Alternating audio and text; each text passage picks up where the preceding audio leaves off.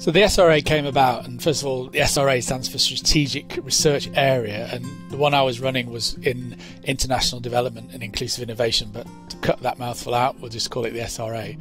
So that was initiated by the university, and I think the vice chancellor at the time had an idea that we have a number of areas of excellence across the university, and one of those was international development. So we were charged with kind of coming up with a, a, kind of framing for that SRA, which we, we did around inclusive innovation, which is the idea that if you're to sort of bring about development in the global south, that that's not going to be done by sort of very top down innovation from kind of big corporations, but actually people who live in those areas and work in those areas often have their own solutions to the problems. So the, the research agenda was really how do you work with those indigenous kind of creativities and then you know bring that to bear in policy rather than imposing policy solutions on those people. So one of the big successes of the SRAs has been to break down barriers that, that can exist between groups that have different skill sets and getting people to work together and I think this has been really key because the major societal challenges that the world face require these large teams to come together to bring people that have got different perspectives and, and can bring different skills to solve those problems um, together. So, if we take international development, naturally these projects have a, a very large scale.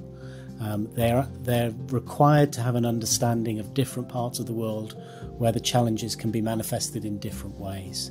And so I think the, the ability in areas like international development to bring a number of people from across the university together, to combine them with people outside of the university that have important skills that they can also bring, and then really focus those groups on challenges across the world is so important for what this SRA has achieved. Some of the key achievements of the SRA were first and foremost a number of successful bids for external funding. So we had 32 successful bids in total out of a large number of applications. And I think the total value of those was around 20 million successful bids. We also held a very successful webinar series over the course of those five or six years. Um, and one of the things we tried to do was to put the OU at the centre of, of intellectual debate. So we hosted in 2019 the Development Studies Association annual conference, which brought 450 delegates to the campus in Milton Keynes.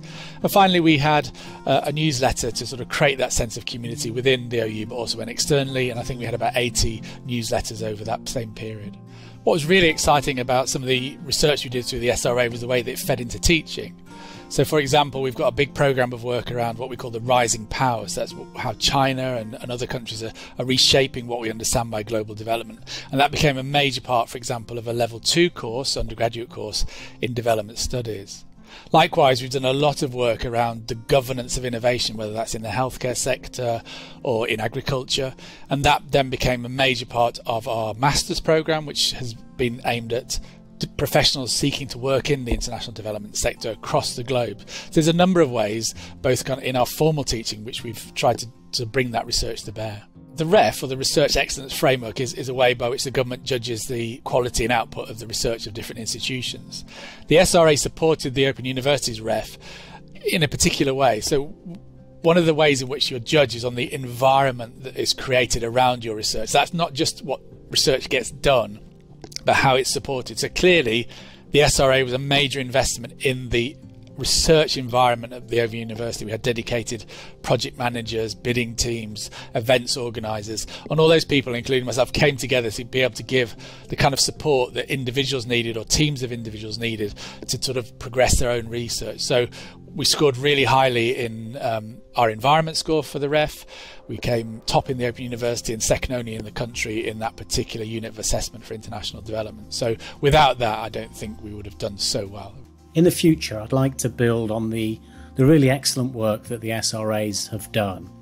And in particular, learn about how we can retain that knowledge of how to build big interdisciplinary teams um, to solve major societal challenges.